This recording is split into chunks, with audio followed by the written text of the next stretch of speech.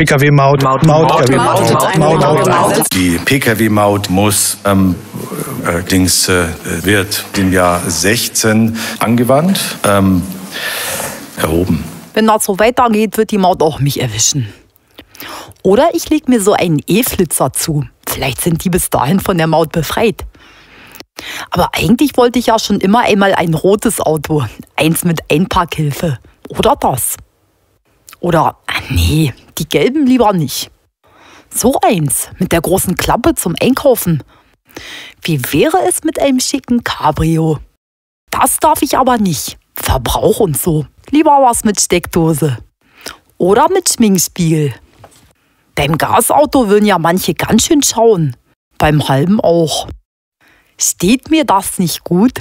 Das ja. Ah, noch einer, der ein Auto sucht. Aber eins sag ich dir, Wladimir. Maut müssen alle zahlen. Und das werden wir kontrollieren.